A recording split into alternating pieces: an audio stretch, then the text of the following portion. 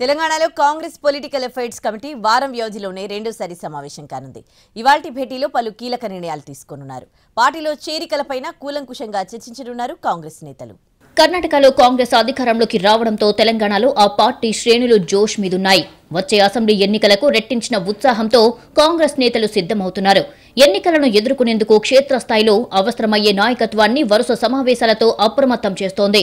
ఇందులో భాగంగానే రాజకీయ వ్యవహారాల కమిటీ వారంలోనే రెండోసారి సమావేశం కానుంది. శనివారం మధ్యాహ్నం మూడు గంటలకు గాంధీ భవన్లో సమావేశం కానుంది. తాజా రాజకీయ పరిణామాలతో పాటు తెలంగాణ వ్యాప్తంగా క్షేత్రస్థాయిలో పార్టీని బలోపేతం చేయడం కమిటీల ఏర్పాటుపై పూర్తి స్థాయిలో చర్చించనుంది. ఈ నెల ఇరవైలోగా మండల కాంగ్రెస్ కమిటీల నియామకం పూర్తి చేయాలని ఇప్పటికే పార్టీ నిర్ణయించింది. కమిటీల నియామకం ఏర్పాటు ఎంతవరకు వచ్చిందనే దానిపై కాంగ్రెస్ రాజకీయ వ్యవహారాల కమిటీ సమీక్ష చేయనుంది.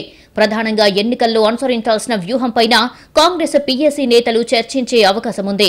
కాంగ్రెస్ త్వరలోనే సూర్యాపేటలో బీసీ గర్జన సభను నిర్వహించాలనుకుంటోంది. బీసీ డిక్లరేషన్కు సంబంధించిన కసరత్తును ఇప్పటికే కాంగ్రెస్ నేతలు చేస్తున్నారు. బీసీ గర్జన సభపై ఈ సమావేశంలో నిర్ణయం తీసుకునే అవకాశముంది. కాంగ్రెస్లో చేరికలపై భిన్న అభిప్రాయాలు వ్యక్తమవుతున్నాయి. పాత వారిని పక్కన పెట్టి కొత్త వారికి ప్రాధాన్యం ఇవ్వొద్దనేది సీనియర్ నేతల వాదన. ఇప్పటికే చాలా నియోజకవర్గాల నుంచి పలువురు నేతలు కాంగ్రెస్లో చేరేందుకు సంసిద్ధత వ్యక్తం చేస్తున్నారు. ఎవరిని చేర్చుకుంటే క్షేత్రస్థాయిలో కాంగ్రెస్ బలపడుతుంది. ఆయా నియోజకవర్గాల్లో చేరే నేతలతో పార్టీకి విజయావకాశాలు ఎలా ఉంటాయనే దానిపై రాజకీయ వ్యవహారాల కమిటీ చర్చించనుంది.